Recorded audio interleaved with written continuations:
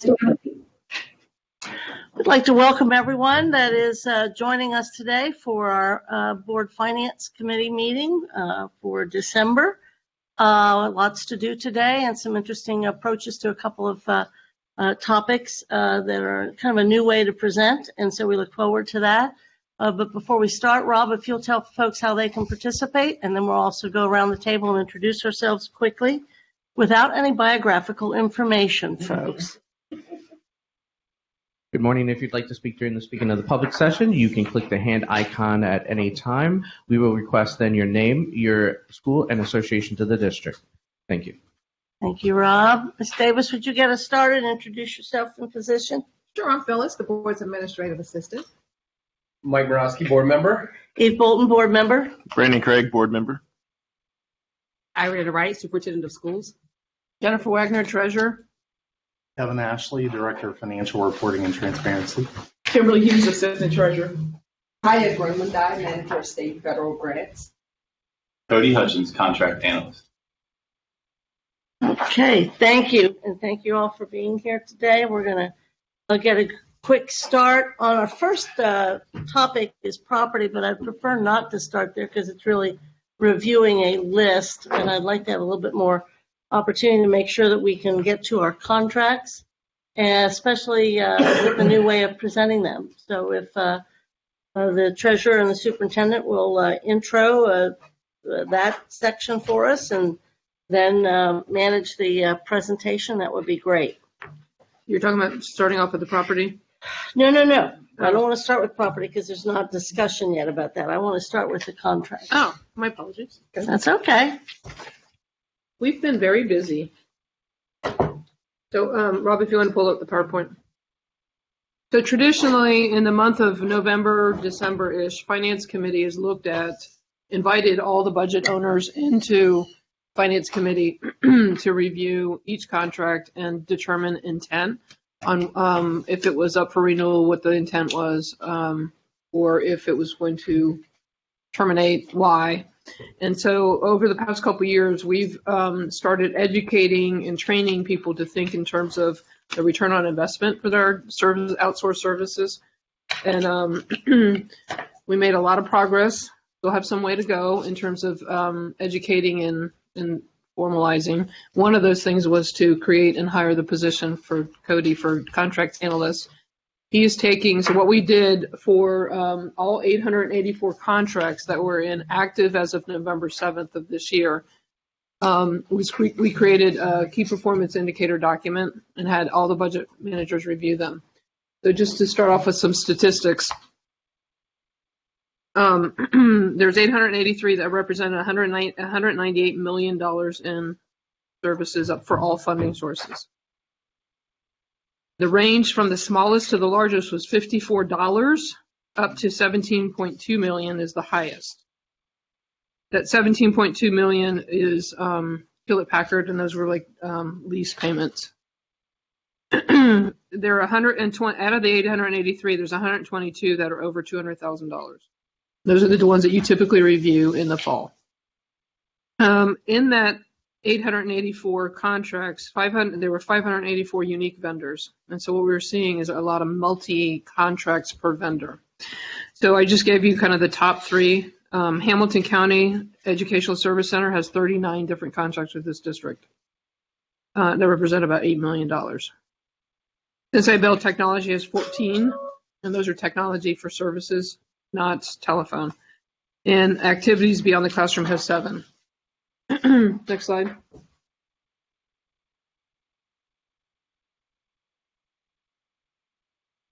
So focusing today on the contracts that are over $200,000. We, um, Jen, excuse Yes. me, if you tell me a little bit, that's what we're doing today, what would then be the next day?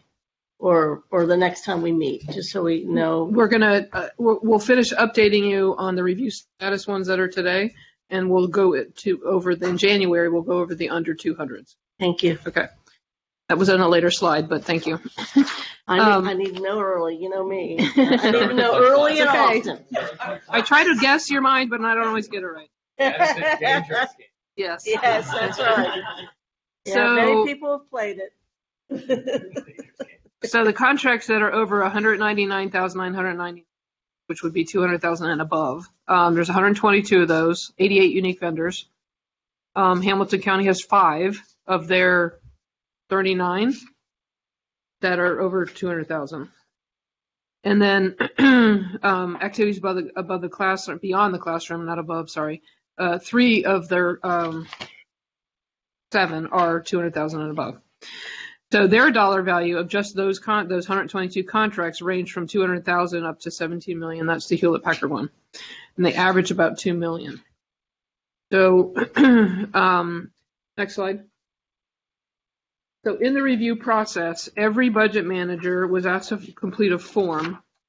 Um, and they were asked four questions. What key performance indicator are you using to measure success of this contract? What data shows your baseline? And what data reflects the progress made to date? And so they had to People tell must us. have also heard about the cookies. I haven't gotten a phone call in two weeks. Sorry.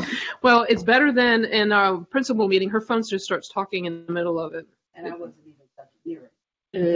Uh, Now, I think was you need bizarre. to talk to uh, Jeremy. Uh, Somebody's always worried. listening. Yeah. Yeah. So, um, okay, so next slide. So all 844 KPI documents came back to us for review.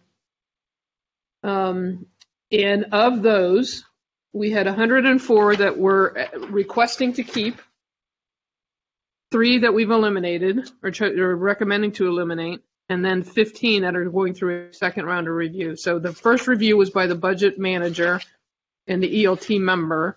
And the second review is superintendent and the treasurer.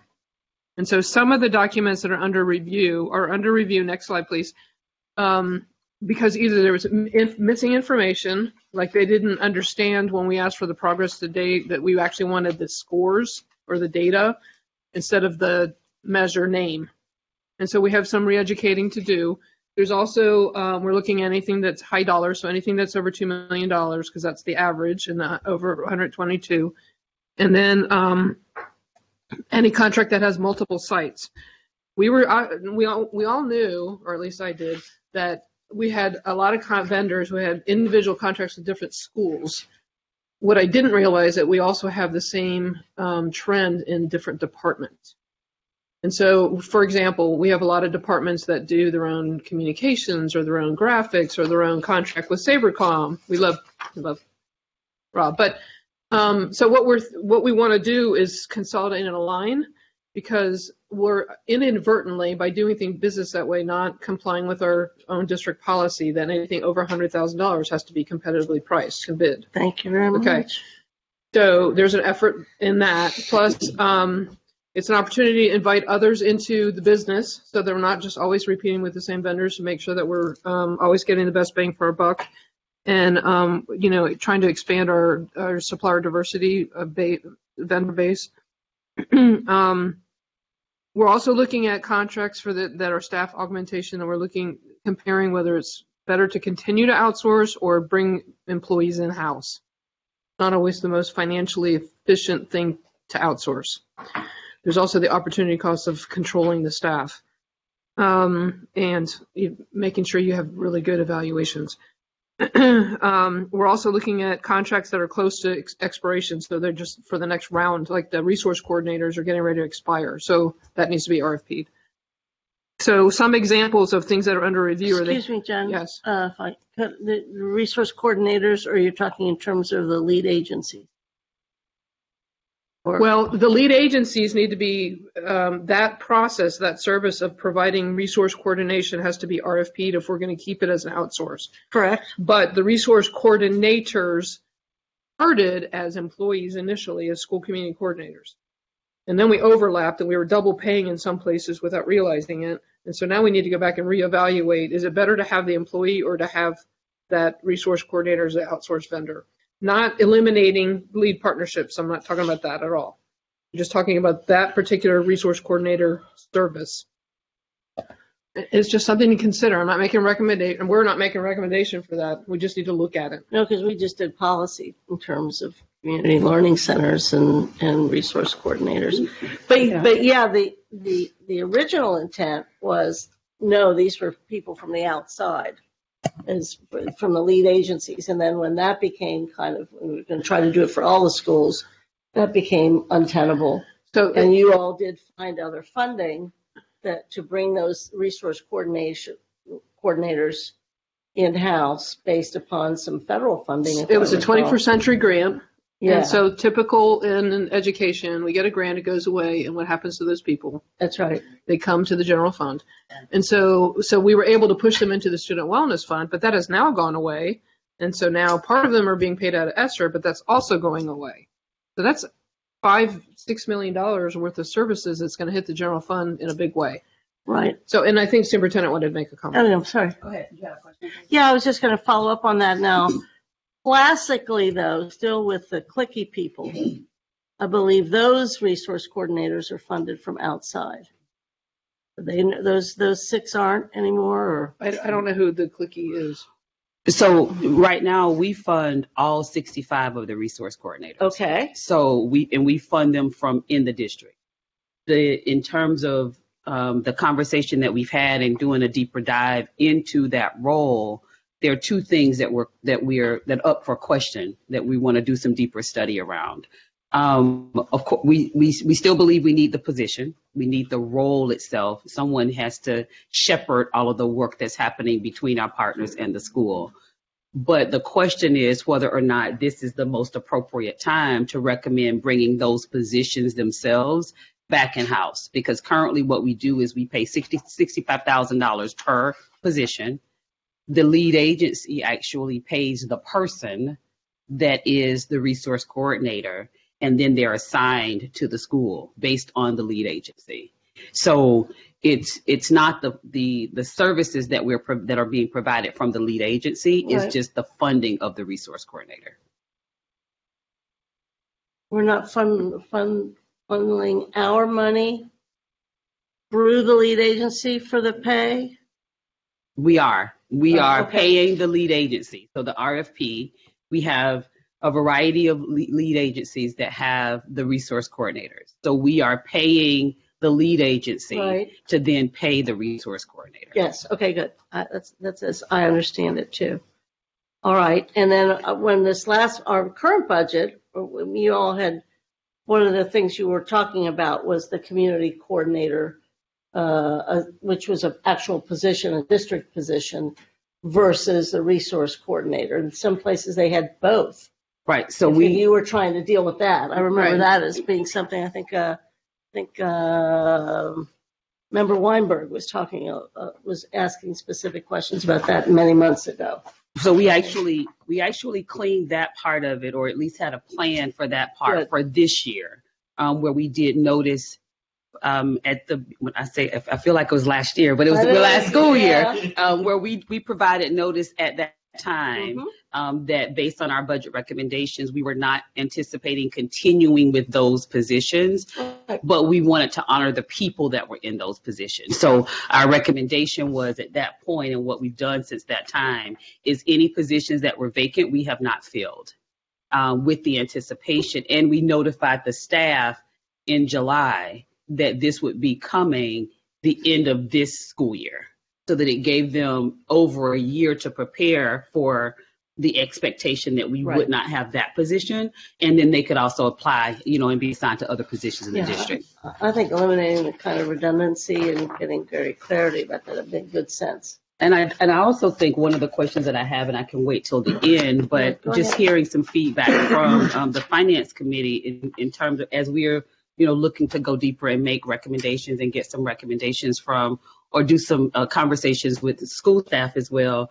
The will of the the will of the finance if the, if there's a question I guess from the finance committee around the differences in terms of you know the resource coordinator position being a, a position that's in the district that we are paying for as a part of our staff augmentation or if it's a position that is it, it continues to to you know work the way that it works now Yeah, uh, I don't know, members just want to be able to discuss that more or follow it as, as we develop this budget?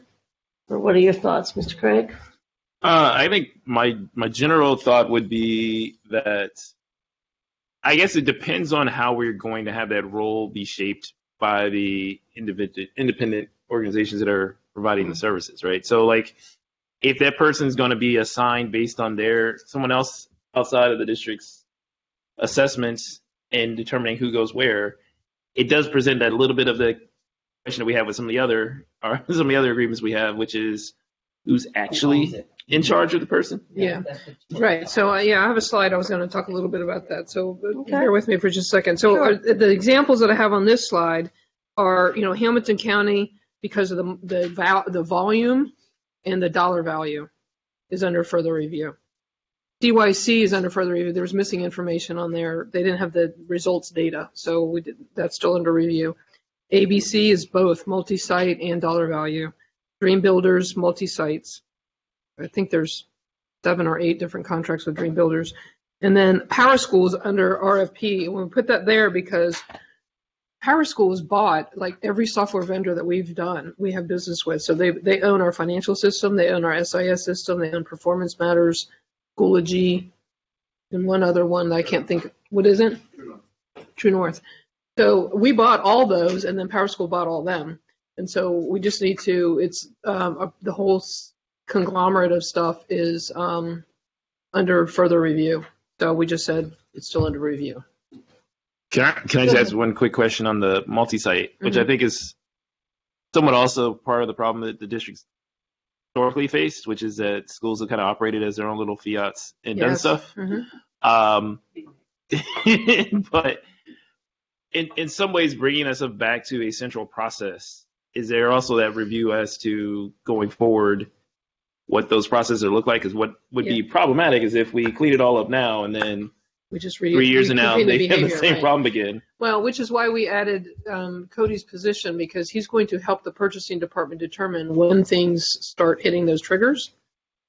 You know, like um, so he's right now he's collecting all the key performance data and making a database out of it. But he's going to help look at with things that are coming up for renewal when when they start. So another little nuance is I've noticed. I think it started accidentally when we did the 90 day appropriation is that people start with a small contract, forty thousand dollars. Then they amend it 12 times and it becomes way bigger, but it never got RFP'd, right? So like uh, Dream Builders, for example, they're, they're in total, it's over almost $500,000. That service should have been RFP'd. But because it's little bits in seven different places, it never made that, the, that business logic that we have built in. Well, So we're looking to update all the that. cynical among us would also say that that may not be happenstance.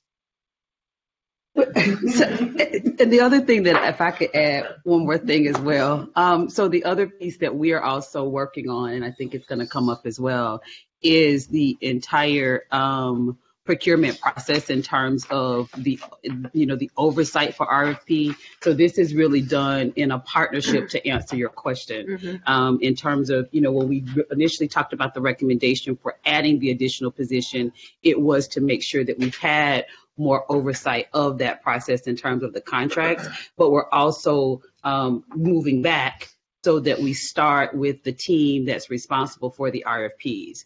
Um, and for actually doing the writing of the contracts because it really should be something that's reviewed at that level before it ever makes it to uh, you know the, the the treasurer's team. It Mhm. really it, when you're when you have a system, um, and so we're we're working with um, the the procurement process is is with the chief operating officer, and so we're working with with in, in partnership in that space as well to add really more um, structure honestly, um, to what that looks like. It, it's not comfortable, but it's necessary. Um, and it's necessary in many other things that we'll see coming up in just a few moments as well. in the in, intent or not, state auditor doesn't care. He just knows that we violated something, right? And so we're, what we're trying to do is protect the district. There's another um, concern I have about our foundation and that there's some money, donated monies that are being deposited with the foundation to kind of simplify the procurement process um, which it would, be a violation. The money should be deposited in the district's bank account if it's intended for the district. And so that's something that I'm working with the foundation leader on um, identifying and um, fixing. Which foundations are you talking about? I'm talking about ABC. I just didn't want to call it. I, I don't. No, I don't think anybody's intentionally doing anything wrong. I just think No. it's um, kind of just trying to simplify things. But what they don't understand is it doesn't matter mm-hmm. from a state Doing a auditor. convenient thing, Right. especially per school. And you know, we recognize that we our the complexity of our process is sometimes frustrating, and so we put a quality improvement process team together, and we went from an average district wide. Now remember, we have 14,000 purchase orders that are issued every year. Average district wide when we started was around 10 days. We're down to less than five now from requisition date to purchase order date. That's a huge improvement. Um, and so we should, we're trying to make it simpler and faster and um, reject less and teach, educate people. And so we've we've made a lot of progress, but um, you know, people always want to go for convenience. Well, as part of that, they're kind of serving as a, I won't say financial agent, but that the, those sorts of procedures are in place to make it easier, is what you're saying. Mhm. And, and really are not correct. Our procedures are put in place to um, follow the state and federal laws, Right. and sometimes they're they're met, sometimes they're just complex and frustrating, and you know they just are. But I don't, we don't have the um, choice to not follow them. Yeah. So um, we're, we're trying to make it as our activities to be as short and quick as possible to help better serve our school and And- department users. And you're in a better place to do that now than you were several years ago. yes, we've made great progress. Yes. Which was uh, an issue. Right. Okay, so flip it to the next slide.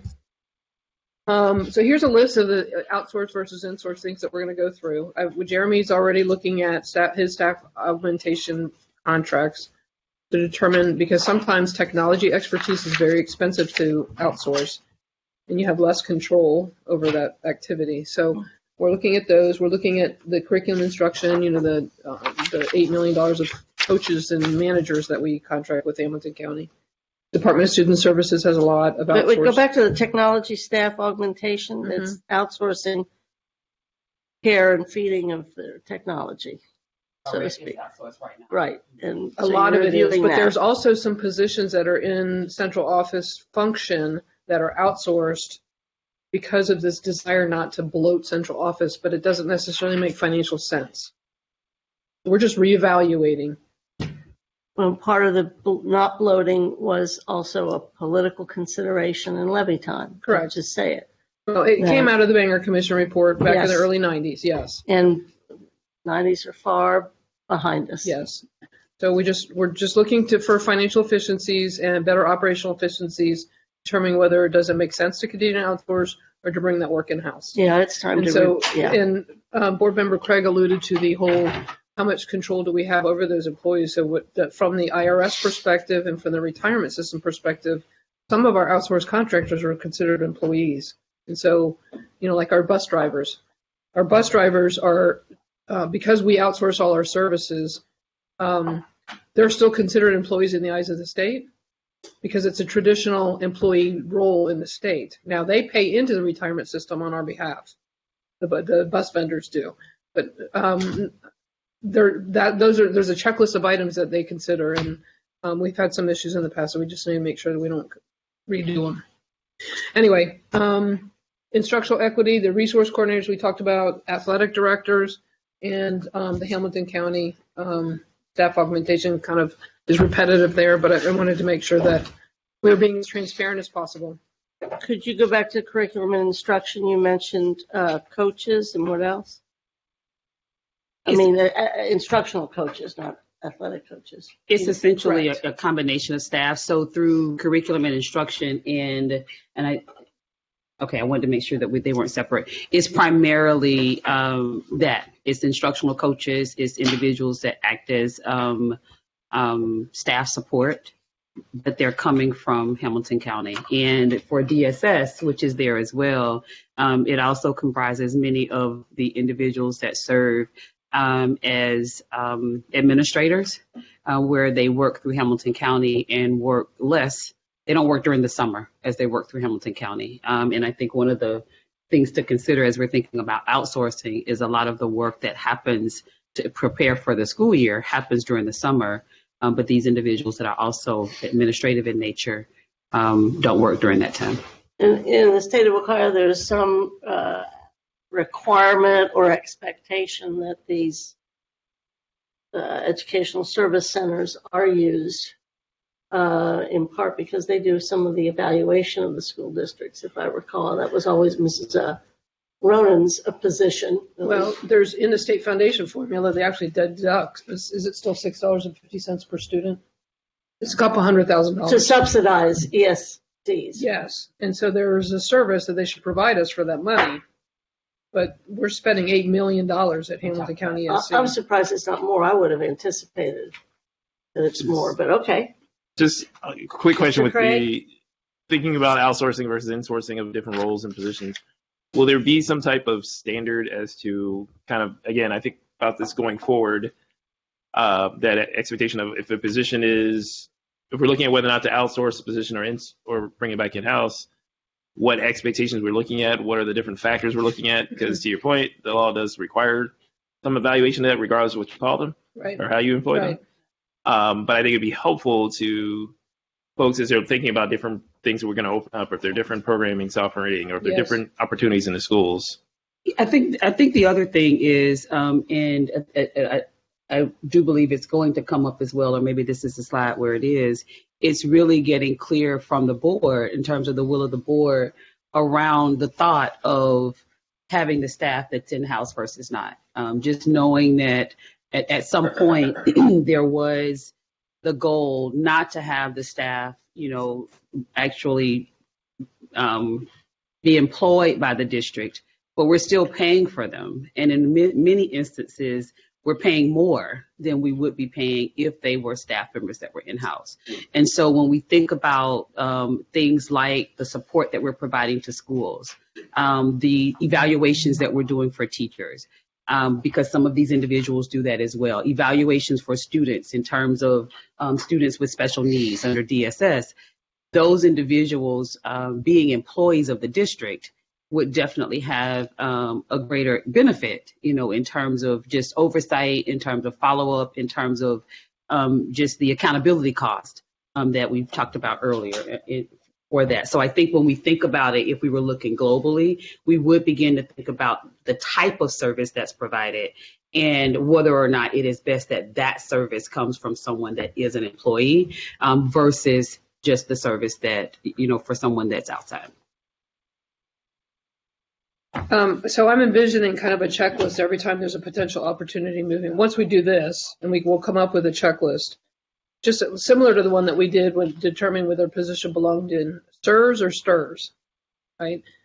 Because there was a um, kind of several years ago, we had two or three positions that the auditors found that were in the wrong paying into the wrong union. I'm the wrong retirement system, and so we created a checklist to determine that. So I'm envisioning that so that when a new contract or a new employee is presented, there's a group that reviews the checklist to make sure we're all on the same page. Mr. Moroski?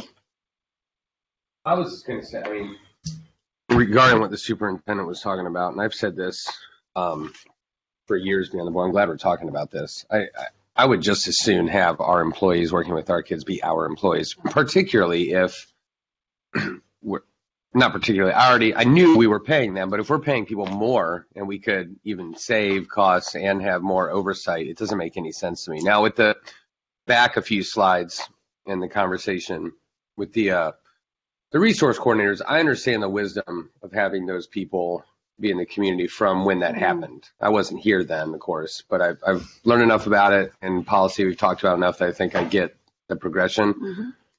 I don't know if it's still relevant. Um, I could be wrong. I, I, I don't know. I mean, in some schools, we talked about this in policy, so I won't rehash it. But I mean, that in some schools, it works really, really well.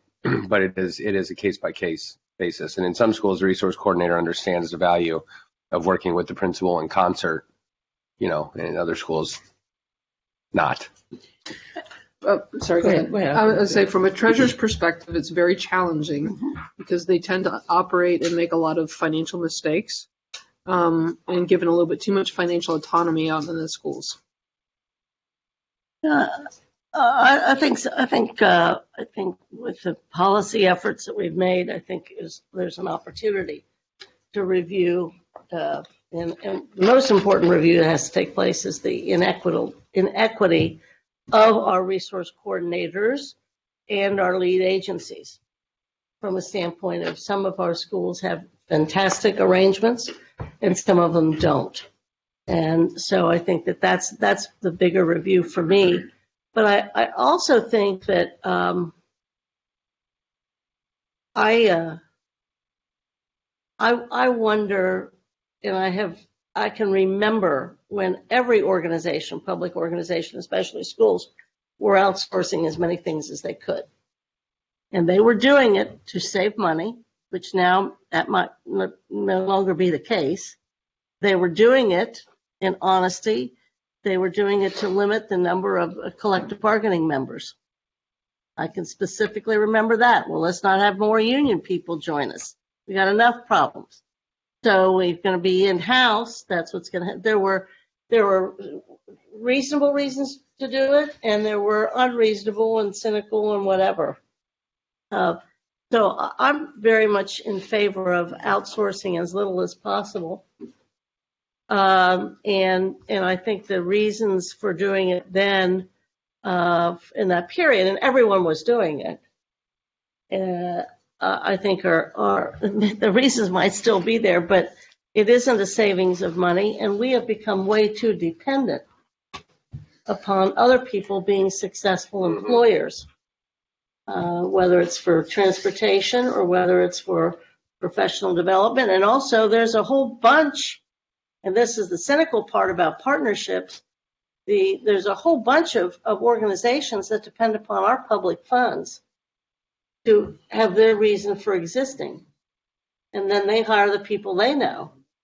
So the- it's all become rather, um, it is, it, that, it, it is too, it, it- there's too much interplay. And so I think that this is a big discussion, but here's the problem. I don't want this big discussion to delay us in having an impact on this year's budget. I don't think it will. No, we won't. We're, Okay. we're We're too doing far well. We've, ahead. we've done Yeah. a lot on the under Yeah. 200s already. I- Okay, just so too that's much. cool. I, I'm still worried that you found there's a hundred and something of these things we want to keep. That seems like a high number still to me. And I would like to see that list that you think would be kept. So you have it in the, this document Okay. in full transparency. In the you big have one. all of our notes for the over Okay, 200s. okay, good. So you, and it says keep, eliminate, or review. Gotcha, for the big one rather than the PowerPoint that we're, that's. out Yeah, there. this, This there's is no all way I of could put this on the screen. No, no, no, and I don't want you necessarily to, but I, I also So- don't want, there's, there's a, the public document and then there's the not. All of this is public, Yeah, everything I do is public information. at, at, for all of us. So, um, so just to kind of, before I go to the next slide, don't go to the next slide yet. Um, well, let's just talk about this document for a minute, because it's, um, it shows you the contract number, and the, because it's a C twenty-three number, it means it's this year's number, right? So it's a, um, the department that it's from, so Department Eight is Athletics Department. Um, I'm just looking at the first line, the EOT member who was over that, which is Dr. Davis, but it's not Dr. Davis anymore, it's the new guy that starts next month. Um, the And I'm vendor going in the budget manager, the type of service it is to the best of our ability, um, the board approval date, start and end date, the value, and I'm giving you the final value because I had the original value and then all the amendments, but it just, you just need to know Okay. what the total Okay. value is. I will tell you though that we had a contract that was amended nine times last year. Nine. That's insane. Okay, so then whatever's in the body of the re- requisition of the purchase order is the comments. So it's telling you what the service is supposed to be. And, and whatever typographical errors or grammar, it's whoever typed it in. Um, the term, whether it's annual or a multi. Um, and then the multi-year tells you it's the first of a three-year contract there, or if they're, okay, that's what that means. Null means nobody entered any information the fund that it came from. So 507 is ESSER, Fund One is general funds, 572 is title. And you guys have a list of that. It comes out in the treasurer's report every day, every time. And the estimate that was for sometimes people said it's going to be the same value. Some people said "Well, I think it's going to grow or might even be less value. And then I did a savings value. So if it was under review, I didn't put a, value in for next year until we finish reviewing it. So it's not really a 400 like this one that's fourth down, ABC it's not really a four hundred sixty-five thousand dollar savings. It's just it's uh, we're not done with it yet. Okay, and then any comments that we were able to add Um, for example, Power School, uh, halfway down the page, a little bit more than halfway down the page, the Schoology subscription is it's within the current RFP, so we don't know anything yet. The, the statistics are kind of on the back page. So I'm telling you how many contracts are for each vendor that are in this group, and then how many of the contracts are into each scenario. I'm sorry, I didn't do the vendor numbers on here. I did the value of each fund and the status of the, what they were. So, next slide. Jen, real quick Yes, In the multi, is the R recurring renewal or renewal or are the ones that have an R? So like R one colon three.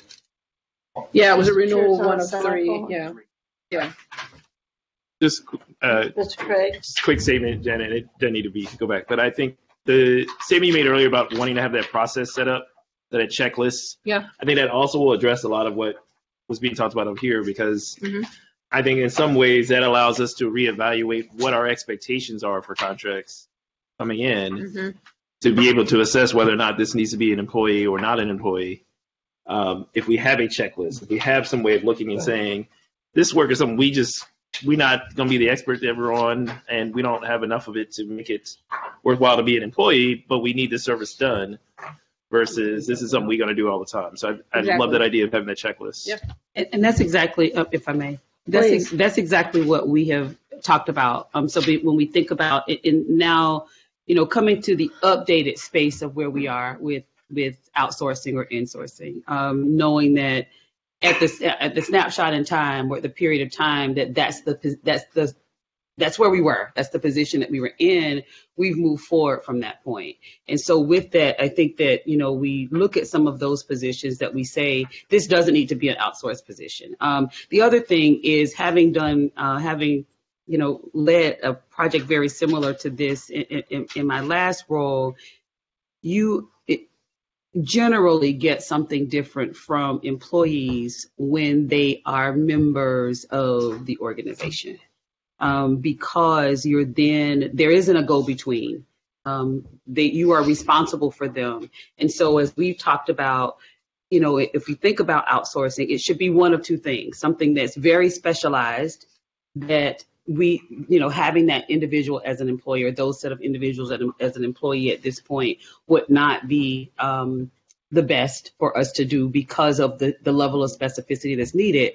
Or if it's a short amount of time that you need the need the work for, that it doesn't, it really just doesn't make good fiscal sense to bring them in for, you know, an extended period. If you're looking to do something, this is going to be a six months or this is going to be a one year something that we're doing to get systems done and set up, not something that we're looking to continue. So we definitely have have worked through a lot of that as well, talked through a lot of it.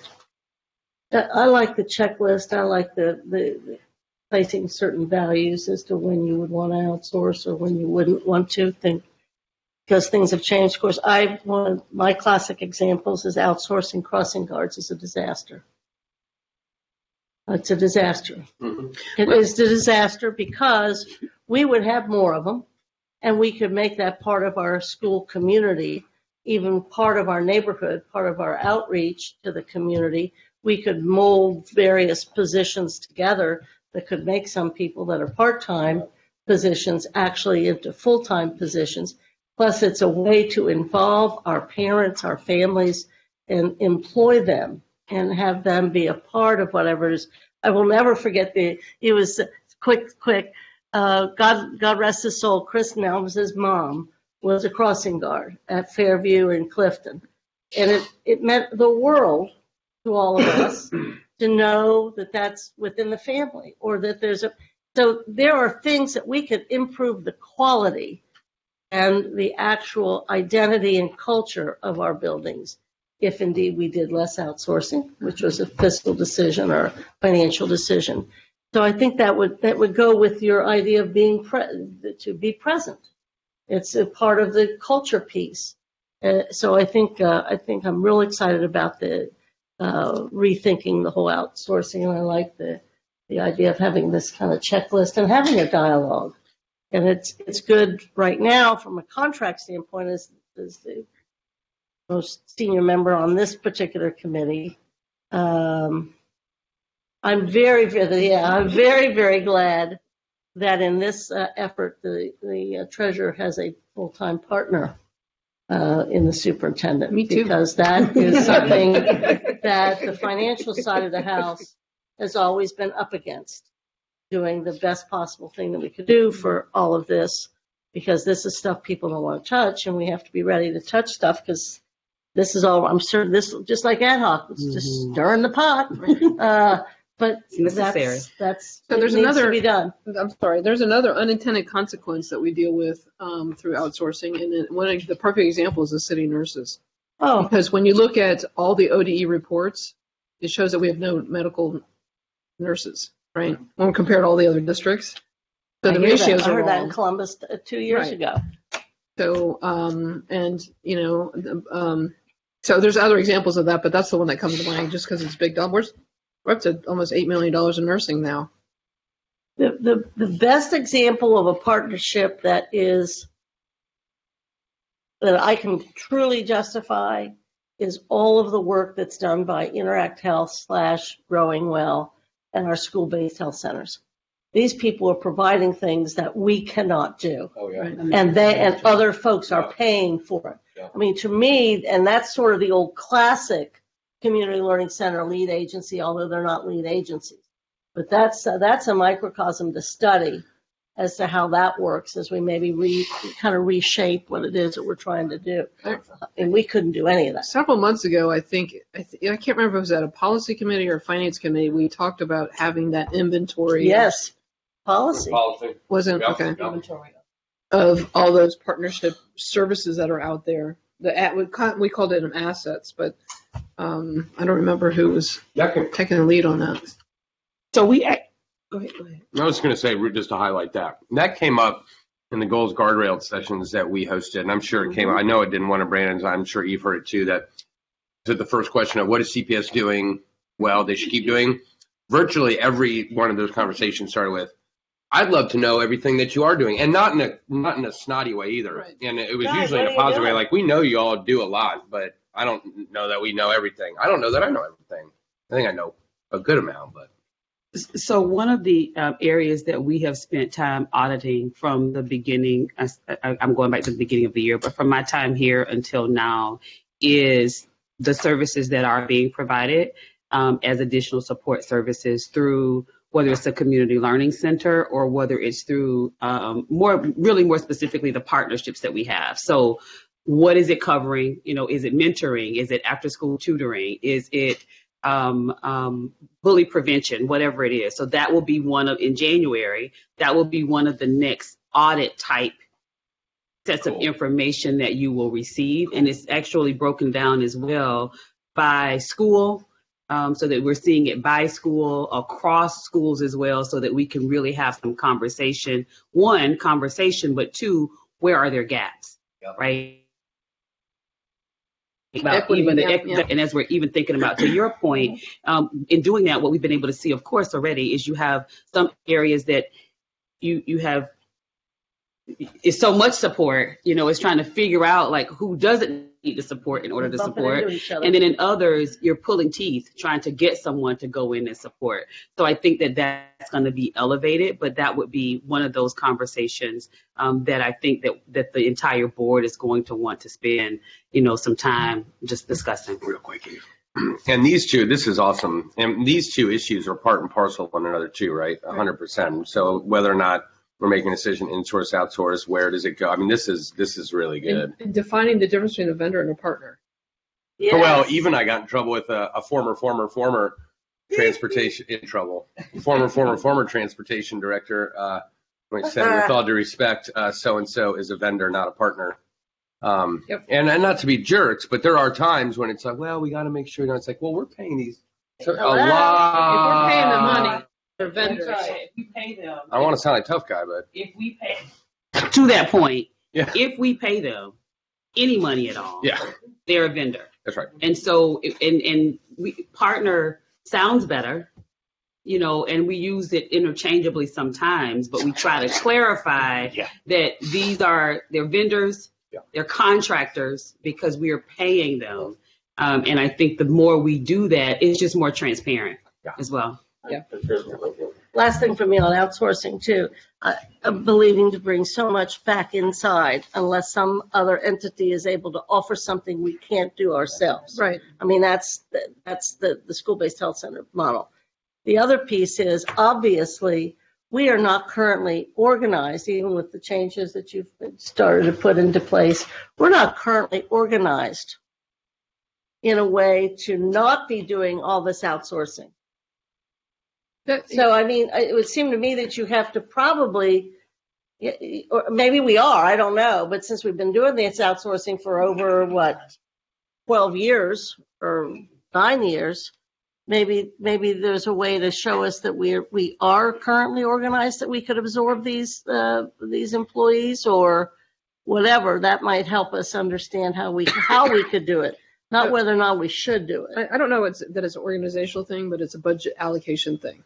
Definitely that. The conversation we had yesterday was, she asked me, why is so-and-so doing their own graphics when we have a communications and marketing department that has that expertise? Or, One of the reasons it's still too small. Well, Well, that's a part of, The- that's a part of yes. what we're reviewing. Yeah, as well. right, exactly. so they, so what happens is the, bu- the community, the public, old public affairs department would develop a budget and somebody would come up with this great idea. They didn't have the budget for it, so the department was responsible for paying for it. But then we just continued it that way, year after year after year. So those are things we were talking about yesterday. Maybe that's a better way to say what That's I what was we're trying to about, say. yes. that It's just processes and whatever, Right. and practices are going to have to be reorganized. I, think the other thing is we're, and we may have called it um, in the com, in the conversation, we may have called it staffing alignment or realignment. But a part of the review elevates, and I'll use the same example that our treasurer used.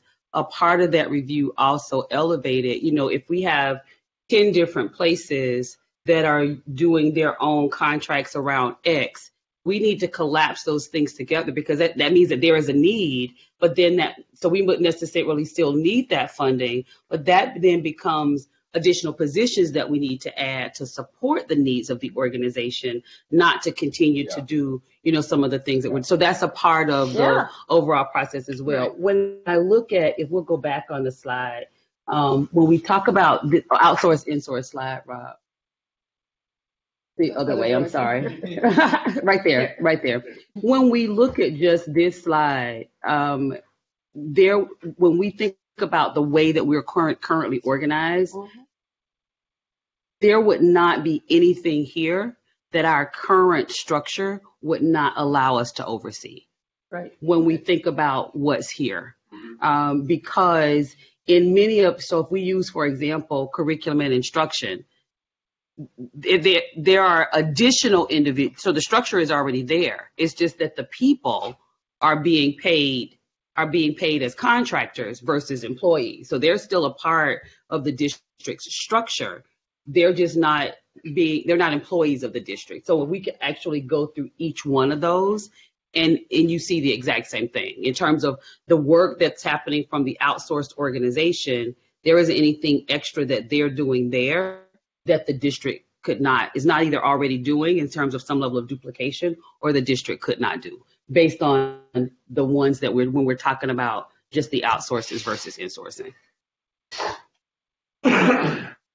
Okay, so back to the next slide, the last slide, that one. So next steps. Um, so the what I want to do, and I didn't get an opportunity to do it yet, um, is take this information and start applying the things that we've been learning in our economics class, and always presenting a per pupil cost as we're evaluating and approving contracts. Because it when it when you drive it down to the per pupil cost, sometimes it, it might drive you to a different decision about whether we want to invest with it or not. So that's the first thing. But so the we're using the school program audits that the superintendent staff did in determining um, each school's program audit and are they properly uh, are the contracts that go with them are, are they aligned? Are they effective? And do they need to grow or go away? So we're looking at it from that perspective. We're continuing to do the under 200,000s, collecting more information. We eliminated a lot of the little ones, and so you'll see a lot of that in the next presentation in January. Um, and then also, as we're starting to talk about central office budgeting, we're going to start addressing those multiple site things, um, and then the in-source outsourcing. And then um, also, at as we go through the school-based audits, aligning that to the whatever programmatic decisions that are being made, looking in terms of equity um, on all those contracts. And so we're trying to look at it from different perspectives, not just one. Um, and but we'll, it, this might take a couple of finance committees meetings to get through because it's going to be in in conjunction with the strategic plan and the budget cycle. And so we'll continue at each. Well, maybe we'll just keep it as a standing agenda item, and we'll just update you as we go. And if I could also add a part of this process as we're going through, um, you know, completing the reviews and then going through the audits is also, and, and the recommendations that we're looking to make. Um, while I believe from everything that I've seen, the, the treasurer and I are, are on the same page. We, we're on the same page about what recommend or what things we would like to recommend moving forward. But we are um, looking to engage um, different staff members in that as well, so that we're having conversations. You know, whether it may be small groups with principals around how this impacts what you're doing in your role. You know, with those that are are, are doing some of the background work, what is the impact to you, or you, do you see a difference in impact? So it becomes a part of the recommendations that it's that it's a little more inclusive in terms of you know, this is kind of how we got to this this point as well. So it'll just give us more information. Do you like this format better than having everybody come in and do their We, own we thing? said, we told you that, the when you Making proposed it. Awesome. Fish for compliments there. We told you, we told, we Oh, we told, It's her, not me. So one of the things I shared, with the- one of the things I shared with the treasurer, you know, in just trying to look at the historical perspective is it, it's important. While it's great to have individuals come in and talk about it, what it does at our level is it gives us the comprehensive landscape. So when I heard that that's what we generally do, I, I, sh- I shared, you know, with the treasurer, my recommendation would be that we let's let us do that work together first because you know you may have someone that comes in and says uh, says I want to keep this, which is we've had with some of them, and then when it gets to the review with me and with us, we're saying what what is the purpose? Why is this necessary? So it really takes it uh, to a deeper level. So we're we're pleased that that was that was beneficial. and we're pleased that people did that. We're pleased that we felt we needed to share with the public that people that own the budget have to come and, and, uh, claim it and try to explain it. The last two months or the last two years that we've done it, it hasn't been as successful as the previous ones. And I, and I think this is a much better way, uh, um, in an agro kind of, uh, aggregate and disaggregate way of looking at it. And I appreciate this. I think this works. And this will more impact the discussion on the board. And it will also, uh, I think, uh, help make more cuts and more changes. So the vision for me is as um, once we get all the KPI information, and we're we, we're changing the culture to start focusing on return on investment, right? Because we have shrinking resources. We've got to make the, make our dollars drive out student outcomes. So as we're building the database of key performance measures, my vision is that we will not go into the treasurer's report and make a recommendation to renew or add a new contract without those measures being communicated. Either this is the success it had, we want to continue it, or here's a new vendor and this is how we're going to measure this for this purpose. And so that's kind of the vision that we're building into. I just said, well, two thoughts. So, uh, first, I think the measuring per pupil is great in some ways. I also think that we need to make sure we're also categorizing, as we talked about before, with there's certain programs we have to do. Right. So, like, even if they only benefit, it may be helpful to know what that dollar per child is, so we know whether or not the vendor itself is the appropriate vendor to be providing the service, more so than the service is the appropriate thing to be done. So, I think that's the like one caveat there. Uh, I think the other part is that it's really helpful to to have the high level instead of the minutia at times because the minutia doesn't always make sense when you look at it just by itself, right? Right. And I think sometimes that that from my board perspective, Mhm. our our role is to be able to evaluate the and give direction on the high level Right. direction we're going, not on the I don't really like that particular company who provides that particular service. We have we like them. Right. Yeah. I'll take it one step further.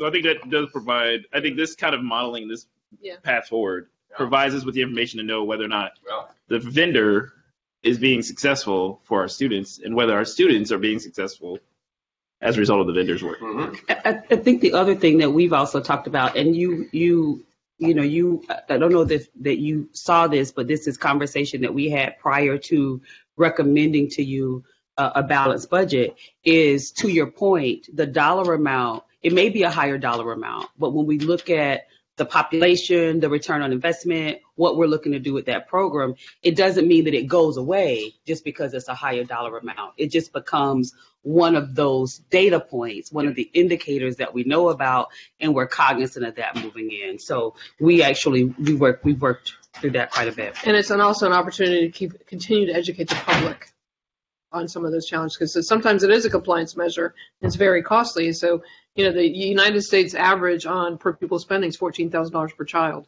And so the way we can help explain why that is, is some of it's just not even under our control. But yeah, I think too, to going back, uh, much of, of the, the individual contract piece or the then and the nows, some of this was an attempt, and I think it was successful in part by the treasurer. Uh, there's sometimes, in order to change culture, uh, it's important to be held publicly accountable or that you are going to be appearing before the finance committee to talk about your budget or what have you, or you're going to share with the public or what have you. So I think, I think we're in a, in a very good place right now. And I like, I like the way that we're approaching this at this point in time. I mean, she was laughing at me yesterday because I was so excited about the data geekiness of me. So Such a geek. I am a speak- geek. We speak the same language, so you know. Well, this So is she's scary. hashtag be present. I'm hashtag dollar sign geek. Good. Well, that's good because, you know, you're in it together. Um, so, okay, cool. Uh, keep going. So what do you want to do next? You want to do that? You want me to talk about the property report or? Uh, I would, I would, uh, suggest that what we're doing here, what we've just completed, is going to influence the budget. Yes. And what we're going to be looking at is that I hope that we also are thinking big and, and boldly enough, whether it's coming out of ad hoc or whether it's coming out of enrollment or these wonderful school audits that have been going on. I would hope that property is also going to impact this budget in some way, shape, or form. So if you want to just share the list with us, just to start a very brief dialogue about what the list of properties are. Is this from Mr. Hoying? Yeah, this is from the legal counsel office, um, and he's sharing with you the description of the property, the address, the square footage, um, the building value, content value, and I, I'm believing he's building this off of the insurance um, Hmm. reports. So, um,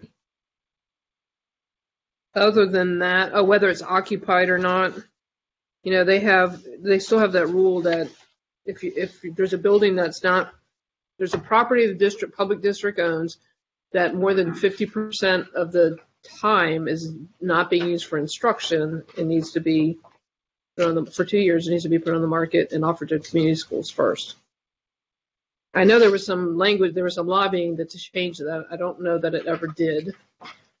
Maybe we can ask Dan to What- update us, What but I would like to do is, is break uh, the order a little bit and say just, I would like to make an assignment. I think we've mentioned it to general counsel. uh, uh, An assignment to review the current uh, state school board and legislative uh, uh, rules and regulations about that issue of sale and occupancy and use. Yeah. Because what we heard in Columbus was a very brief presentation that sounded like some things along the line of property owning and uh, uh, disposition uh, and usage had changed that could be to our benefit. Um, And so I would just like to make that, if that's okay with the rest of the committee, I'd like general counsel to to look that up if, if possible and see if there has been change, because that inhibits all that we can do uh, by the, the uh, previous standards. I mean, we've got property we probably would like to sell. but may not be able to, or we've got property we could, as the superintendent presented to the ad hoc committee, there might be properties where we can merge uh, schools or change the purpose of a particular facility or what have you. And we just wanted to get this introduced this month uh, so that whomever is on finance in the coming months, uh, I hope, I hope we stay somewhat stable, but uh, that uh, this, this can also influence, because there's monies to be saved and efficiencies to be uh, gleaned from uh, a review of our property capacity, as well as perhaps revenue to be gained. So, Mr. Craig, I was going to say, can we also just, for our purposes of clarifying, next time we talk about all this, is just clarifying what is considered occupied for yes, educational instruction versus what is considered just occupied on the, um, because I do think, yeah, you know, we probably do have some facilities that we are using for other purposes that, uh, to, Board Board Member Bolden's point, whether or not it's going to be something that we keep as a storage space or warehouse Sure. space, is that the best use of that space? Is that the best value? What we want to do? Or are there other things we can do with some of the space? Uh, or, and then if it is something that's being used for storage or whatever, and we decide to get rid of it, does it fall within the same rules with regards to uh, buildings that have to be as as other buildings would be? that makes sense to you, Mr. Moroski. And, and I actually think, and this may be the, this may be the place to ask the question, um, just for a historical, um, content or context. The, the, our, our Iowa Street property, um, I think at some point there was some conversation or discussion about that.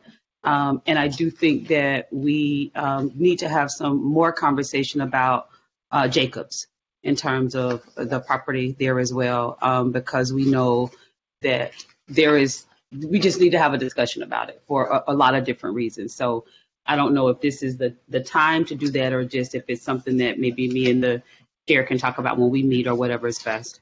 We can, um, I, I think it would be good, and we try, we've been trying to put like topics for next month on at the end of a meeting today. which just makes sense. I think we should have property be a major part of our effort uh, next month, whomever is uh, on the committee. And I would, uh, I would add that Jacobs and Iowa, uh, and gosh, what's the name of this, the little, the school that's so close to Walnut? Um, uh, Reverend Mingo is there now with his folks. Yeah. Uh, my understanding from the, ci- what, is- you know which one it is? It's right across the street from James. Uh, Yeah, uh, there's recreation uh, uh, dollars or, excuse me, property behind it, and the city is somewhat interested in, and it's possible that, the- so I would definitely, let's add, uh, let's say, let's call it properties of interest. And I would, I would say that Jacobs would be definitely one, uh, I think you're right, and definitely Iowa. Well, and our property in, uh, in North Fairmount too. And our, yes, I hope not. yeah, Yeah. Feinhold Yeah. property. And He- Heinold's on Westwood Northern Boulevard. Yeah, it's a vacant, big That lot. it was I torn mean, down. if we yeah. were ever to do something about Iowa, Oh, behind that's the my, one that's just the lot. yes. Okay. So let's just, Right. let's, uh, properties of, in- properties or, of interest or whatever, and let's add those three or so. So uh, Jacobs, Jacobs, Iowa. Iowa, Einhold, and whatever is, what's that school? We no longer own it, that's why it might not be on this It's this called list. Hoffman Playground. Hoffman, Yeah. it's Okay. Hoffman oh, the School. old Hoffman Old building. Hoffman School, because we looked at that very seriously as a place to put one, maybe a seventh grade level from Walnut for classroom space. It almost looks like Walnut, and it's within walking distance.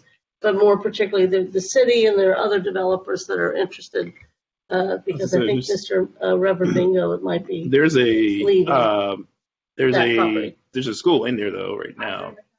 Yeah, some Yes. there's some uh What academy? Is that a charter school? yeah. Yeah. It's been it's been off and on used from different charter schools over the years. Um, It's one of the ones we had to let go. but I do think this gets to a little bit of the point of the audit or of the uh, the ad ad hoc committee as well as Mhm. the fact that we have some properties and we have some buildings currently where we are not kind of living through those numbers of what the building was designed for. And so we have other spaces where we have no buildings. And the reality is that we can't address those people in there. We have no buildings past a certain grade level if we don't.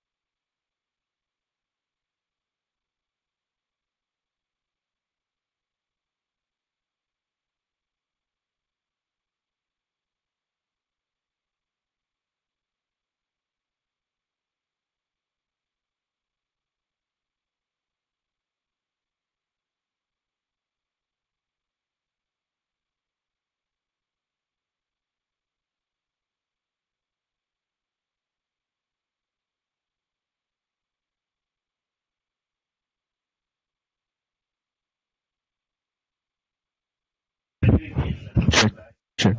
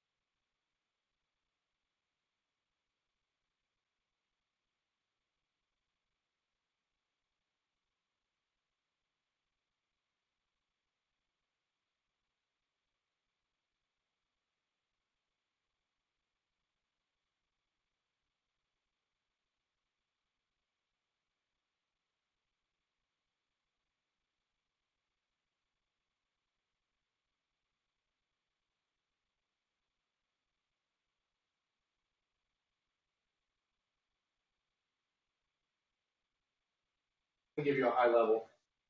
Again, this isn't broken down like salaries, benefits, purchase services, that is something we could do.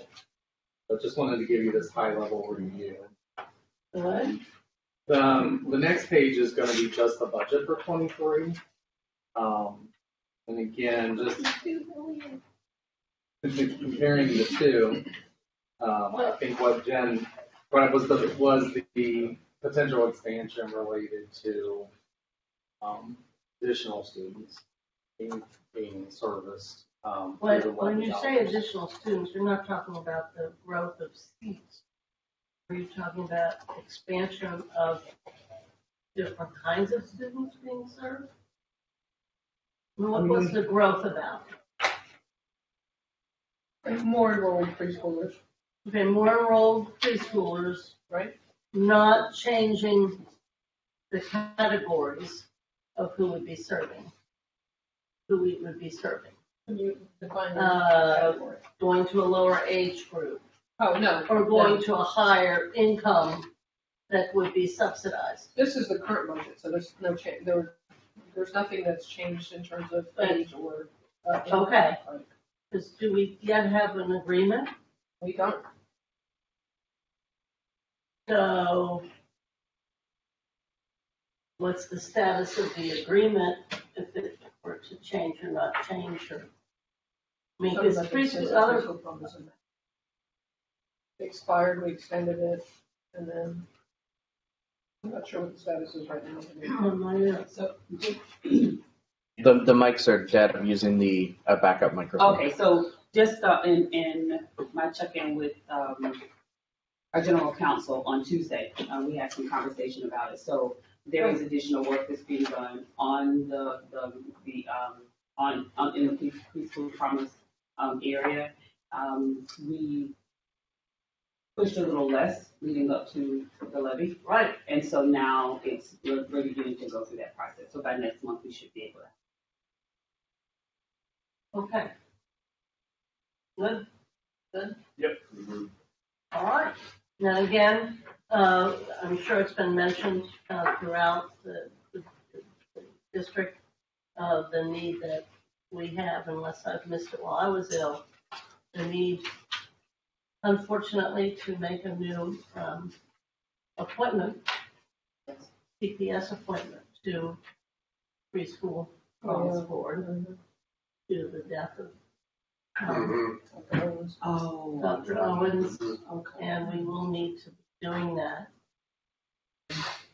And he will serve as the chair. I don't think that we have to push on that someone would have to be the chair, although we've been very proud that, yes, uh, Representative has been chair. Again, after uh, Reverend Graham, uh, Father Graham, uh, about the only person citywide that had almost the same stature Yeah. uh, was Dr. Owens. So, um, Maybe he'll come back and represent us. uh, not really. Okay, so uh, Superintendent, if you can kind of look into that appointment, I will. that would be great. Any, um, uh, keep, keep going on early childhood. I'm sorry to interrupt, No, you're good. Um, so if we go to like page three, um, this has FY twenty-two students. Um, so normally the number of students that you see in the monthlies relate just to the preschool expansion, so that's what the top category is. Um, so there were like, this was as of November of twenty twenty-one, there were eight hundred and fifty-three students. Seven hundred and ninety-seven were considered full day, and fifty-six were considered half day. What I did here is I do get reports from them monthly that identify the number of students in each of the other funding Oh, categories. okay. And so these are the, this includes the data that's presented for that. So instead of, we also usually show the total number of students of one thousand eight seventy-seven. You can see that additional one thousand students where their funding uh, comes from. But it- This eight hundred, eighteen hundred seventy says it are just CPS kids, not CPS and CPP. Okay, so exclude CPP kids. And I did have another, but I don't think it made it into the, um, because I did get, uh, from Hector at CPP. So this was at September twenty-two, they had a total of five hundred and forty-five students. And what they consider full-time versus half-time, they were saying half-time would be enrolled to attend between three and a half hours up to six and a half. Um, for CPS, in talking to Vera, um, we look at are they enrolled five days or not? That's an important distinction on our side. And on their side, it's not necessarily the number of days, but the number of hours per day. But again, so they were showing a much less halftime, like 23 students uh, versus 522 full-time. So if you take that, just to get a grand total, that we have CPS eighteen hundred, and they have an additional five hundred that they're servicing. So almost. Current year. So then current year, for us, we're going from eighteen hundred and seventy-seven to two thousand and thirty-five for all the CPS enrolled students. Um, and actually, that number I used for CPP was five forty-five. The year before was on, was six eighteen, was actually a little bit high. So pre-COVID, our preschool expansion student, CPS's preschool expansion students were around 650, 680 preschool. We're up to 980. So preschool has bounced back from COVID, Um, not, um, uh, CPS preschool. close, close, close. May not be perfect, but close. And she's, um, planning to expand more seats. in the district next. Yeah. And there'll be some cyclical as, you know, like one year's award may be higher than the other, so that some of those things go into, there's definitely growth. The number of students are. So, I, I think, you know, I I actually appreciate this information, being able to see the comparables as well of, of where their funding sources are. Because I also think there is a question of where students, which students are, are we seeing the growth in? Right? Because there's some areas where, for instance, I can see from year, last year to this year, students who fell underneath the special education category increased, whereas some others decreased. And I think it's helpful for us to know as well, because if we're giving students where we're bigger require more resources, or uh, we're going to need more in order to do the program, that's helpful to know. Well, that was a big battle early on with the Cincinnati Preschool Promise team. Um, that they wanted us to fund the expansion of, um, special services staff, special education services staff. My point was, well, we wouldn't be growing and identifying those preschoolers had we not been expanding preschool. So the expansion budget should be paying for that. So we added a new diagnostic team and, um, more itinerant teachers to go out and serve the newly added preschoolers in CPP and in CPS buildings as well. So, um, that's grown a little bit at a time, but, um, so they, they provided that, but holistically, I don't think that we've ever publicly presented, we're spending thirty-two million dollars on preschool. From all sources, seven different sources of funding, and I, we always in public talk about the fifteen million dollar general fund set aside out of that levy. And we, we spend less than half of that, CPP spends the, the majority of that. And we're, we're dipping into that unspent cash from prior years, but thirty-two million dollars is a lot of money. And so I For think that number of students. for preschool. Yes, preschool classes are limited to a smaller size than we- a kindergarten class would. be.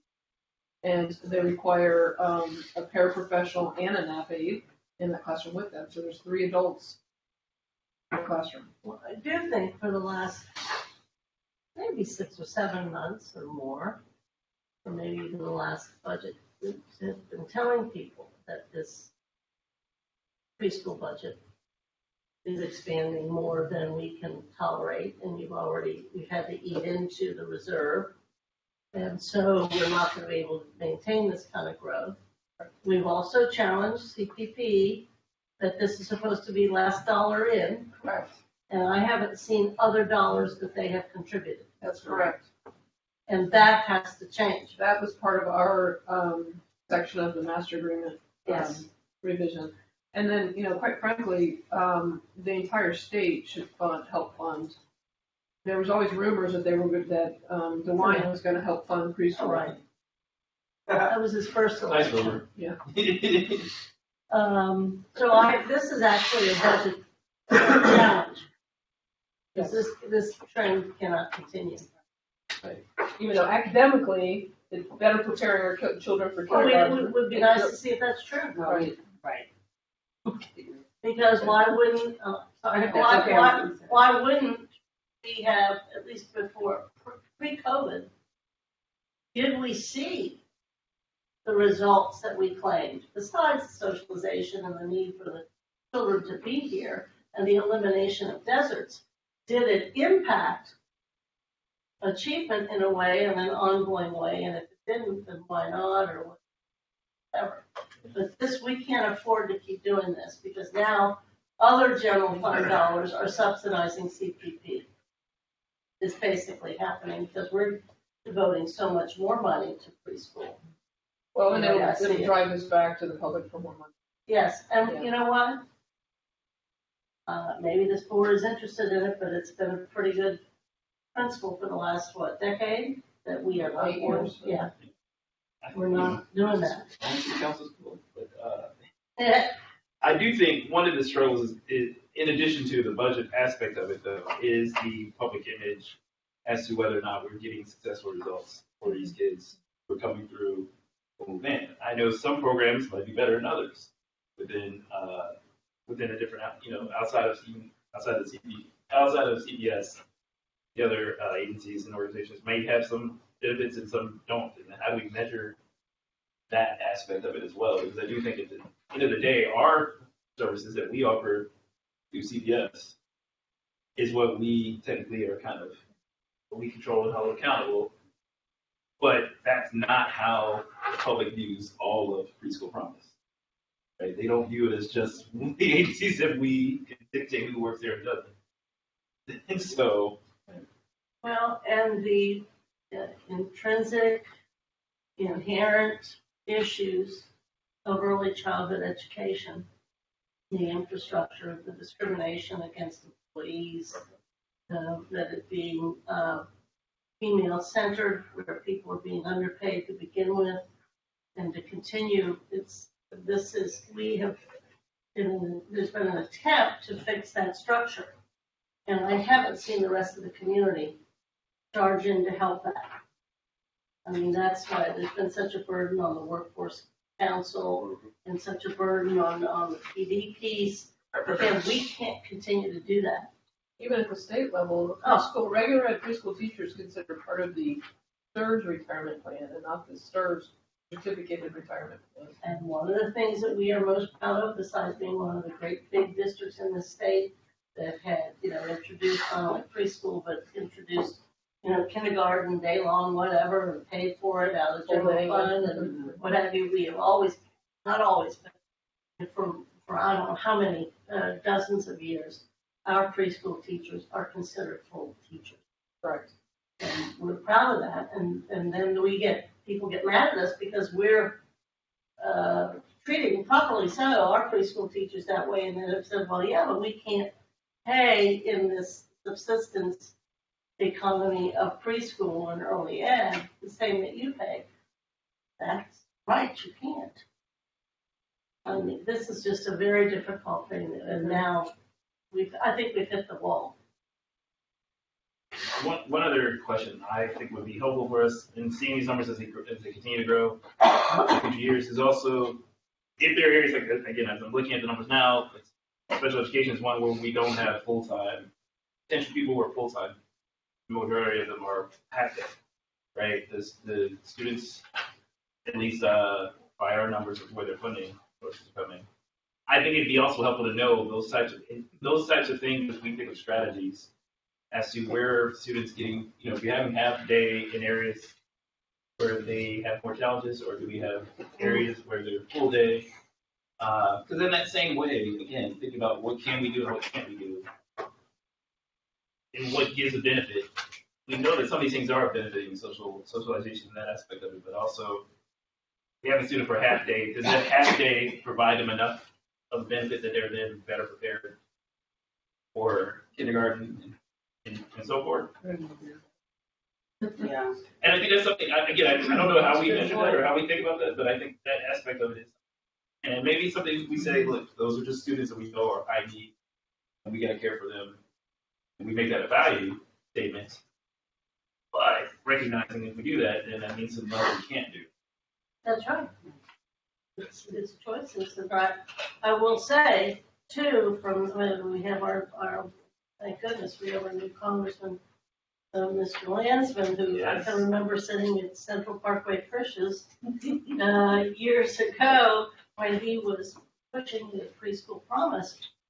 And indeed, we were using the Denver model one of the most important things, as he was trying to get CPS to, to be in favor of this, uh, one of the most important things out of Denver was if the other preschool, the private preschool entities and providers actually worked within the Denver curriculum, it had an impact. If you don't do that, it's not going to have an impact. You might be okay with colors and socialization and thank God the children are in safe places, but it's not impacting our efforts. Uh, because that was the number one thing about Denver. They said, no, you really have to have a, you have to have that interfacing with the curriculum of the major.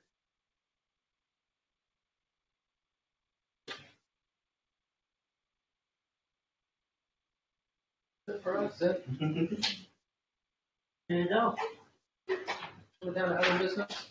I think we are, if nobody has any other questions about preschool, if nobody has any other suggestions about what should be on that property piece, or, uh, we know, if you guys could word what the agenda would look like, not just the stuff that you need, we have to do regularly, which is kind of suspended today, but when coming back, the next steps, contracts, how if you can tell uh, Ms. Davis how that should be. Do you want us to do that verbally or just send her an email or? Send her an email, that'd be Okay. great, but uh, just so we know we're doing that.